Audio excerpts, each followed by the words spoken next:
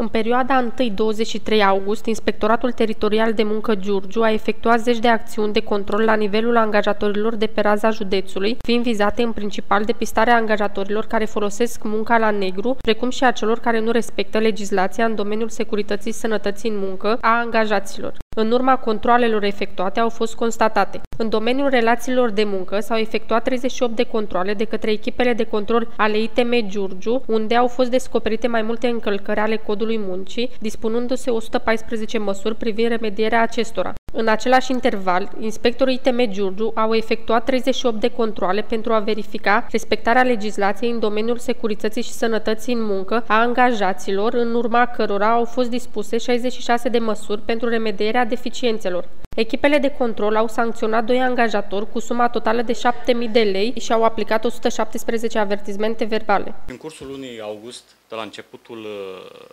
acestei luni până în prezent, de către inspectorii de muncă din cadrul Inspectoratului Teritorial de Muncă s-au efectuat un număr de 38 de controle pe linia relațiilor de muncă și a uh, securității sănătății muncă la un număr de 38 de agenți economici.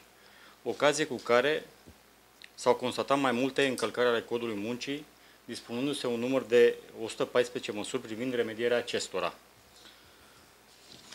Totodată, în acest sens, s-au întomit un număr de 6 procese verbale de contravenție în cuantum de 70.000 de roni, din care 3 în sumă de 30.000 de roni pe munca la negru, pentru două societăți comerciale.